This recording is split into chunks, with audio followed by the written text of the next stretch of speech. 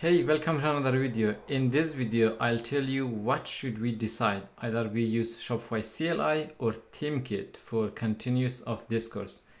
In the previous video, I found out like since the last time I used Shopify CLI, they have improved a lot. They have changed a lot of the thing and my hope was high.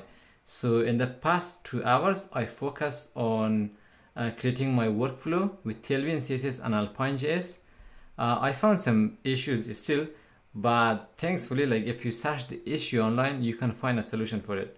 So based on the comments I get from the previous videos I think it is time to use Shopify CLI still there are some issues but it is worth trying. If we notice any like very serious problem we can still find the like a reference to the issue and someone already fixed it and again as i said it is a new tool and they have still some issues that they should fix in the future.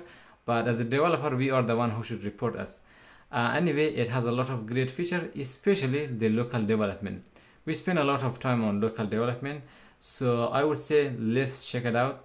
Uh, in the next video i will create a workflow how we can combine tailwind css alpine js and shopify cli we will create a very nice and clean workflow. And also we will discuss about the theme structure what you have to know about the theme structure the json file templates and all you need to know in the next video.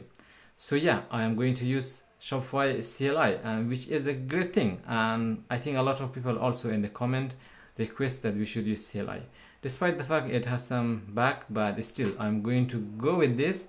If it has a lot of issues in the future we can always revert back but it is worth trying although it is a new tool. Thank you for watching and I will see you in the next video.